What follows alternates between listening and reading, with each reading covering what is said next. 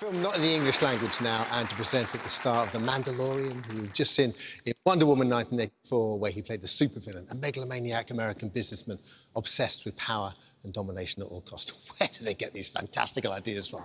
It's the sensation, Pedro Pascal.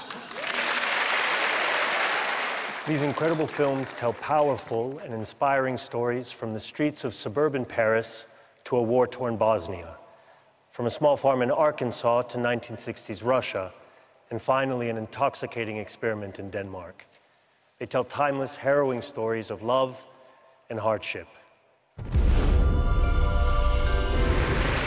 And the BAFTA is awarded to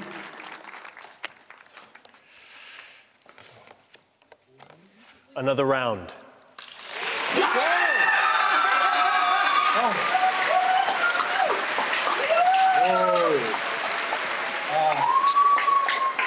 Thank you. Uh, I would like to thank the BAFTA voters for this. It's, it's fantastic. Whoa. Uh, I did have a small suspicion that you Brits might like a movie about drinking, but uh, I'm very honored in this appreciation, and I thank you dearly. And I want to thank my wife. She's somewhere here, and my daughter, and uh, my other children, and um, and of course. Uh, I want to thank the cast, uh, Mads Mikkelsen, who's not with us here tonight, Magnus Millang, Thomas Bo Larsen is here. Bravo, Thomas. Uh,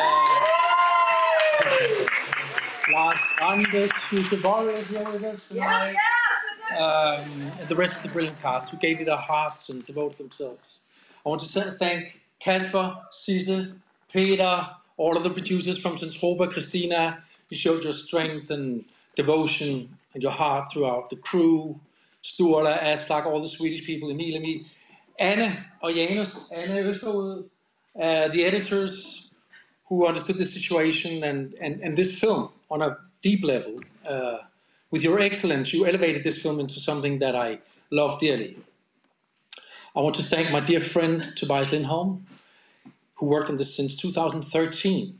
Um, Tobias, you're in you're conquering America right now, shooting tomorrow, first day.